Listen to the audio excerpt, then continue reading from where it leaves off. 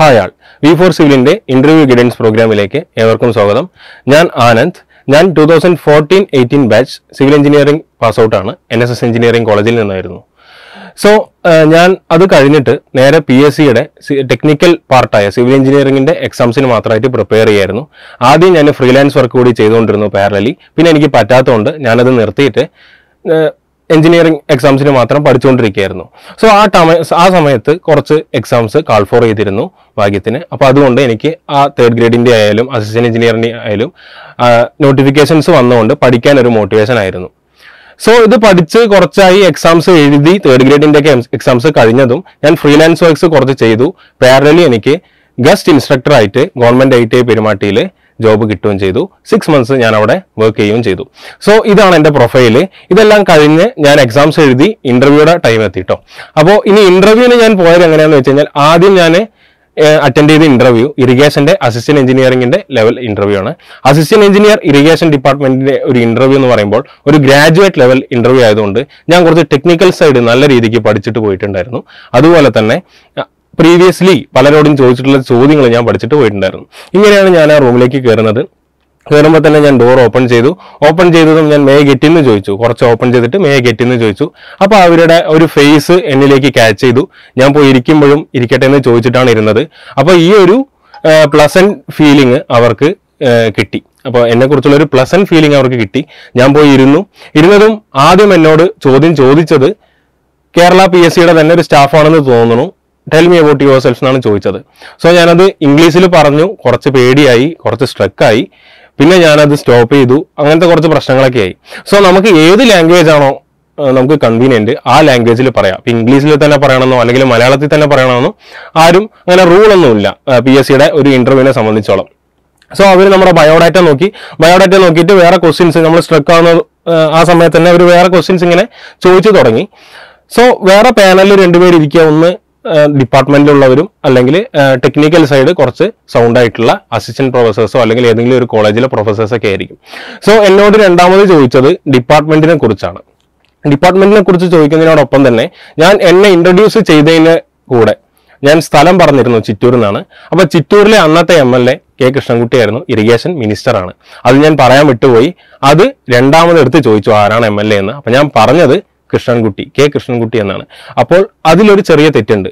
എപ്പോഴും നമുക്ക് ബഹുമാനപ്പെട്ട ശ്രീ കെ കൃഷ്ണൻകുട്ടി അല്ലെങ്കിൽ ആരാണോ ആ ഒരു ഭാരവാഹി അപ്പോൾ അവരുടെ മുന്നിൽ ബഹുമാനപ്പെട്ട ശ്രീ എന്നെല്ലാം പറയുന്നത് കുറച്ചുകൂടി ബെറ്റർ ആയിരിക്കും എന്ന് പലരും ഇന്റർവ്യൂ കഴിഞ്ഞപ്പോൾ എന്നോട് പറഞ്ഞിരുന്നു. അത് തീർത്തും ശരിയും തന്നെയാണ്.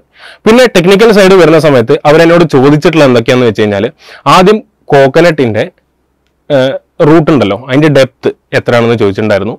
ഈ ക്വസ്റ്റ്യൻ എനിക്ക് നേരത്തെ പരിചയം ഉണ്ടായിരുന്നു കാരണം മുന്നിലെ വന്നിട്ടുള്ള കാൻഡിഡേറ്റ്സിന് ചോദിച്ചിട്ടുള്ള സെയിം ക്വസ്റ്റ്യൻ ആയിരുന്നു. സോ ഞാനത് ചോദിച്ച് മനസ്സിലാക്കിയിരുന്നു. ആ ക്വസ്റ്റ്യൻ ഞാൻ പറയുകയും ചെയ്തു. നെക്സ്റ്റ് ക്വസ്റ്റ്യനാണ് എന്നെ ട്വിസ്റ്റ് ചെയ്യിപ്പിച്ചത്.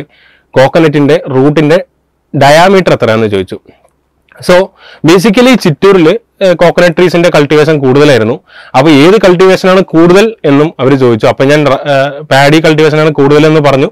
അപ്പോൾ അവർ കോക്കനട്ട് ഇല്ലേ എന്ന് ചോദിച്ചിട്ടാണ് ഈ ഒരു ചോദ്യങ്ങളിലേക്കൊക്കെ വന്നത്. അതുകൊണ്ടാണ് എന്നോട് ഡയാമീറ്ററും ചോദിച്ചിട്ടുണ്ടാവുക മേ ബി അപ്പൊ ഡയാമീറ്റർ എനിക്ക് അറിയില്ലായിരുന്നു ഞാൻ അറിയില്ല എന്ന് തന്നെ പറഞ്ഞു. സോ ഇതിൽ നിന്ന് നമുക്ക് മനസ്സിലാക്കേണ്ടതെന്ന് വെച്ച് കഴിഞ്ഞാൽ നമ്മൾ പ്രീവിയസ്ലി അറ്റൻഡ് ചെയ്തവരോട് ചോദിക്കുകയാണ് എന്തൊക്കെയാണ് ക്വസ്റ്റ്യൻസ് എന്ന് എങ്കിൽ ആ ഒരു ക്വസ്റ്റ്യൻസ് അതേപടി പഠിച്ചിട്ട് പോവാതെ അതുമായിട്ട് അനുബന്ധപ്പെട്ട കുറച്ചിട്ടുള്ള കാര്യങ്ങൾ ഉണ്ടാവില്ലേ? ആ കാര്യങ്ങൾ കൂടി നോക്കിയിട്ട് പോകുന്നത് എപ്പോഴും നല്ലതായിരിക്കും. പിന്നെ ടെക്നിക്കൽ സൈഡിൽ എന്നോട് ചോദിച്ചിട്ടുള്ളത് അക്യുഡക്റ്റ് അക്യുഡക്റ്റ് എന്താണെന്ന് ചോദിച്ചു. അത് എല്ലാവർക്കും അറിയാം അത് പറയുകയും ചെയ്തു. അത് കഴിഞ്ഞിട്ട് എന്തോ കോണ്ടൂർ ആൻഡ് അക്യുഡക്റ്റ് അങ്ങനെ എന്തോ ഒന്ന് റിലേറ്റ് ചെയ്തിട്ട് ചോദിച്ചിട്ടുണ്ടായിരുന്നു. ക്വസ്റ്റ്യൻസ് തന്നെ ഭയങ്കര ക്ലൗഡി ആയിരുന്നു എനിക്ക്. എനിക്കത് ക്ലിയർ ആയിട്ട് മനസ്സിലായില്ല. സോ ഞാനത് എനിക്ക് അറിയില്ല എന്ന് തന്നെ പറയുകയും ചെയ്തു. ഇതായിരുന്നു എന്റെ ഇറിഗേഷൻ അസിസ്റ്റന്റ് എഞ്ചിനീയർ ഇന്റർവ്യൂവിന്റെ എക്സ്പീരിയൻസ് സോ ഈ ഒരു എക്സ്പീരിയൻസിൽ നിന്നും എനിക്ക് എബോ ആവറേജ് മാർക്കാണ് കിട്ടിയത്. അതായത് ഒരു ട്വൽവ് മാർക്സ് ആണ് എനിക്ക് കിട്ടിയത്. ഇനി അടുത്തത് ഞാൻ അറ്റൻഡ് ചെയ്ത ഇന്റർവ്യൂ ഏതെന്ന് വെച്ച് കഴിഞ്ഞാൽ ജൂനിയർ ഇൻസ്ട്രക്ടർ സിവിൽ എന്നുള്ളൊരു ഇന്റർവ്യൂ ആയിരുന്നു. എനിക്കാണെങ്കിൽ ആറ് മാസത്തെ എക്സ്പീരിയൻസും ഉണ്ട് അതിൽ അപ്പോൾ ആദ്യം തന്നെ ഞാൻ പോയിരുന്നു. ടെൽ എബൌട്ട് യുവർ സെൽഫ് എന്ന് പറഞ്ഞു. ഞാൻ ആദ്യത്തെ പ്രാവശ്യത്തെ ഇന്റർവ്യൂവിലെ ആ ഒരു പ്രശ്നം അതായത് ഞാൻ ഇംഗ്ലീഷിൽ പറഞ്ഞു പിന്നെ പകുതി ഇതാക്കി അങ്ങനത്തെ ആ ഒരു പ്രശ്നം ഞാൻ ഒഴിവാക്കി. ഞാൻ മൊത്തം മലയാളത്തിൽ തന്നെ അങ്ങോട്ട് പറഞ്ഞു. അപ്പോൾ അവരത് ഓക്കെയാണ് നെക്സ്റ്റ് ക്വസ്റ്റ്യൻ ചോദിച്ചു. ആരാ ചോദിച്ചതെന്ന് വെച്ച് കഴിഞ്ഞാൽ എനിക്കറിയില്ല. ഏത് സ്റ്റാഫാന്ന് ചോദിച്ചാൽ എനിക്കറിയില്ല. അവർ ഡിപ്പാർട്ട്മെന്റിനെ കുറിച്ച് അവരുടെ വർക്ക് ഫ്ലോ എങ്ങനെയാണ് കോവിഡ് സമയത്ത് എങ്ങനെയാണ് അത് ടാക്കിൾ ചെയ്തത് ഓൺലൈൻ ക്ലാസ്സസ് ആയിരുന്നോ അതോ അങ്ങനത്തെ കുറച്ച് കാര്യങ്ങളാണ് ചോദിച്ചത്. ലാബ് ഉണ്ടല്ലോ ജൂനിയർ ഇൻസ്ട്രക്ടറിന് അപ്പോൾ സോറി ഐ ടി പഠിക്കുന്നവർക്ക് ലാബ് ഉണ്ടല്ലോ. അപ്പോൾ ഐ ടിയിലെ ലാബ് ഓൺലൈനിൽ എങ്ങനെയാണ് അത് പറഞ്ഞു കൊടുത്തത്? അവർ ഇതൊന്നും അവയർ ആവാണ്ട് എങ്ങനെയാണ് തിയറി പഠിച്ചെടുത്തത്? ഇങ്ങനെയുള്ള ഡിപ്പാർട്ട്മെന്റുമായിട്ട് ബന്ധപ്പെട്ടിട്ടുള്ള കുറച്ച് കാര്യങ്ങൾ ചോദിച്ചിരുന്നു. പിന്നെ അത് കഴിഞ്ഞിട്ട് ടഫ്നെസിന്റെ ടെസ്റ്റുകൾ ഐസോഡ് ചാർപ്പി പോലുള്ള ടെസ്റ്റുകൾ ചോദിച്ചിരുന്നു. പിന്നെ ബിൽഡിംഗ് മെറ്റീരിയൽസ് സർവേ സർവേയിലെ ഗേറ്റ് ട്രാവേഴ്സ് ടേബിൾ ചോദിച്ചിരുന്നു. അതേപോലെ തന്നെ ബിൽഡിംഗ് മെറ്റീരിയൽസിൽ സിമെന്റിന്റെ ബോക്സ് കോമ്പൗണ്ട് ഏതൊക്കെയാണെന്നുള്ള രീതിക്കുള്ള ജനറലായിട്ട് എല്ലാവരോടും ആ, ഇന്റർവ്യൂവിനെ മുന്നേ ഇന്റർവ്യൂവിന് മുന്നേ അറ്റൻഡ് ചെയ്ത അവരോട് ചോദിച്ചിട്ടുള്ള സെയിം ചോദ്യങ്ങൾ തന്നെയാണ് എന്നോടും ചോദിച്ചത്. അതുകൊണ്ട് എനിക്കത് പറയാൻ പറ്റി.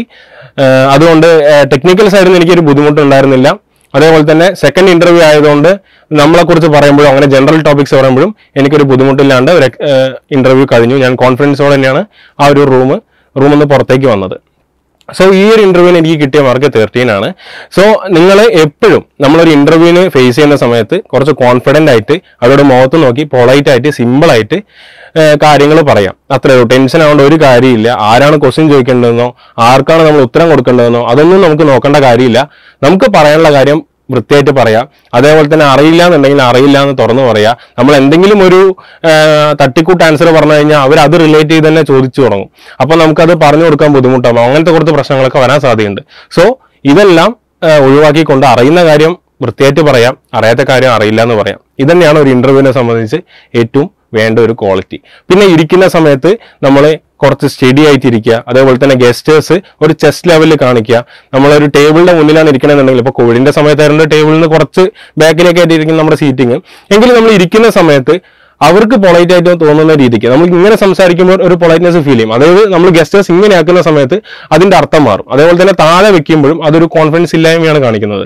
സോ ഗസ്റ്റേഴ്സ് എപ്പോഴും ഒരു ചെസ്റ്റ് ലെവലിൽ കൊണ്ട് അത് ആ ഒരു രീതിക്ക് തന്നെ വെച്ച് അവരെ ഫേസ് ചെയ്യുക അപ്പോൾ ഏറ്റവും കോൺഫിഡന്റ് ആയിട്ട് ഫേസ് ചെയ്യുക ഇതന്നെയാണ് ഒരു ഇന്റർവ്യൂ ടാക്കിൾ ചെയ്യാനുള്ള ഏറ്റവും വലിയ ഒരു capsule N S D assistant എഞ്ചിനീയറിന്റെ interview വരാനിരിക്കുകയാണ് അപ്പോൾ ഇന്റർവ്യൂ കാൻഡിഡേറ്റ്സിന് എല്ലാവർക്കും ഓൾ ദ ബെസ്റ്റ്